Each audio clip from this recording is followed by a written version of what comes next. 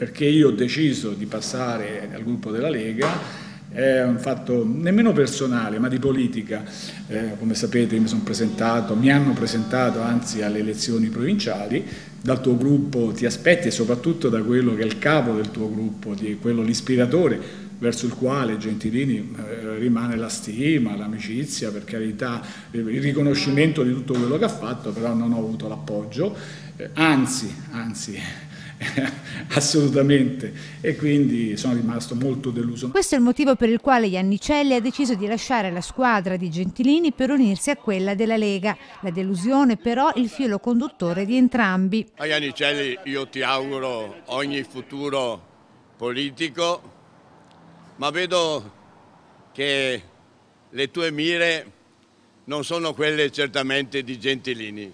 Gentilini si è sempre accontentato di rimanere in città con il suo popolo. Ed è un botta risposta a distanza tra chi alza i muri più alti. Essere lasciato solo, ripeto, da quello che è, è un personaggio come Gentilini che poteva aiutare, non mi ha aiutato, mi ha profondamente deluso. Tu invece mirerai a qualcos'altro, ma io non porto rancore.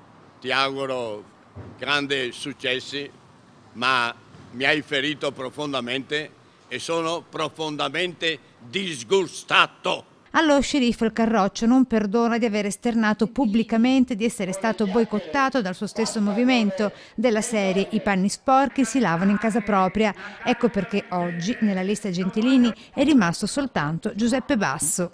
C'è posto per tutti e secondo me Gentilini eh, deve essere è e deve essere come dire, il padre nobile di quello che è stato un movimento che ha fatto tanto in, nel nostro territorio. Ecco.